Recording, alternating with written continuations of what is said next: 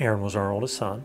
Uh, he was 26 years old. He was driving the vehicle. Um, really don't know what happened. Um, you know, Steven has no memory of the accident, but we'll never know. There was just too much damage to find out. We first heard uh, when we got a knock on our door about 1 o'clock in the morning. Uh, there were two county, uh, Roanoke County police officers that uh, were standing at the door, and at that point they uh, proceeded to tell us what had happened. Then you feel the shock and, the, and just uh, almost terror start going through you, and, and you start reacting to that. We finally got ourselves together enough to go to the hospital, and then once we got there, we were asked to go to a consultation room. That's when everything set in that this was really reality. They prepared us. They told us, um, you know, that he was, you know, cut up, uh, you know, uh, from the head injuries and, and those kind of things. But um, we were just so thankful to see him and know that he was alive. First thing for me it was just like, even though he had no clue as to what was going on, I just told myself I had to be strong for him. But internally, I was just, I just didn't think there was much hope at that time because he was so critical. You get the speech of the next 48 hours, I think Yeah. they said was the most critical. Yeah, that was. Uh, I think that was the hardest thing to hear. That um, you you want to have hope, but at the same time, you know they you you realize later they have to be uh, honest with you and tell you that you know uh, where, he's actually at. So uh, that that was hard to hear. He was um, under heavy sedation, and then he was put into a coma, uh, medically induced coma at that point. So not a lot of, uh, of alertness then. It was afterwards when they started taking him out of the, the chemically induced coma that he started um, um, waking up. I really don't remember anything about the accident. I do remember waking up in the hospital and just kind of going in and out. The first moment of him waking up and realizing we were there was actually his mom. He grabbed her uh, hand and um, told her he loved her uh, and voiced that, and, and that uh, was that was a very special moment for him. The experience uh, was just fantastic from the start. Of course, a lot of confusion on our part, not knowing what he was going through. Um, the doctors really took their time uh, explaining things to us. Uh, the nurses uh, were uh, just fantastic. I mean, just the whole cheerleading approach and, and not only taking care of Steven, but for us as well. And one of the first things I remember was um, uh, Dr. Collier when he when he came in and and you know he looked at Steve and said, "Well, we're taking care of him, so now we're going to take care of you."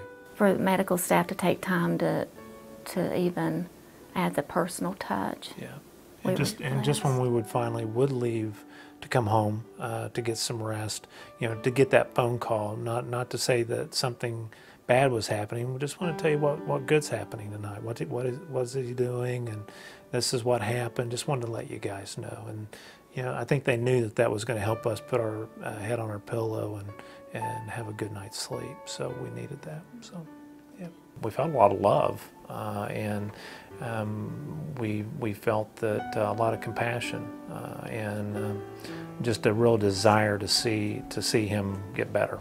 Now, when he got to PCU, that's when things started happening for him. Uh, he started going through some therapy there in the bed, and we got to, to watch that. And we got to see the progression of things, you know, tubes getting removed and certain medications going away. And um, we could just tell that he was becoming more and more alert. Well, we felt more hopeful, of course, as parents, and just sitting up for like 30 minutes was huge for him because at that point, that's pretty much all he could do. Um, so just watching him do those first, we were just celebrating every little thing. There, there were times he would just reach out for and to hug them, yeah, and just say thank you, and, and the only way he could. The nurses were definitely cheering him on for different goals and objectives that he needed to meet, and um, we were just looking forward to knowing the next step was rehab for him. I guess my therapist, I really enjoy working with him, and he makes it challenging. He's just really uh, specialized in what he does. For me, it was just the professionalism of everyone and just, um, you know, the level of care. I, I, I, you know, I don't know if if we're just blessed in the Roanoke Valley to have great health care givers uh, that uh, seem to really love what they do uh, and want to be there and are just passionate. And we really felt like family. We really, you know, felt like truly everybody cared that, you know, that and wanted to see him get up and go. Uh, and um, you know, so it was it was like having our own cheerleading squad up there. Well, he continues to inspire and amaze us. He's always looking at the positive. He's starting to show independence, uh, and he wants to be independent. He wants to be his own person and and uh, do go back to doing the things that he liked to do. The biggest thing right now is my arm. Still waiting on it to come back, and like I'm wearing the splint and everything for it because my fist likes to clench up, so it keeps everything stretched out. And then my leg, wearing the Bioness to help uh, for the foot drop. Uh, before the accident, I was a big hiker, so I've been able to get back into that and been up to McAfee's Knob a few times. All this is happening really fast, um, but we're thankful for how far he's come and realize that with his determination, there's a lot more to be seen. A year ago, we saw him where he couldn't move a centimeter and um, needing to be lifted out of bed with mechanical assistance and uh, see him hiking now and doing those things is just amazing.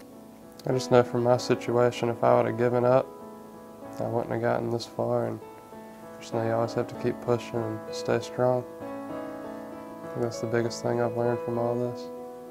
You wouldn't wish this on anybody uh, to go through. Um, but as a family, uh, we could not have asked for better care for our son. Um, and I just want to be able to say thank you from the bottom of our heart. I don't believe he he would be here today if he'd not gotten the level of care that he got uh, at the hospital here.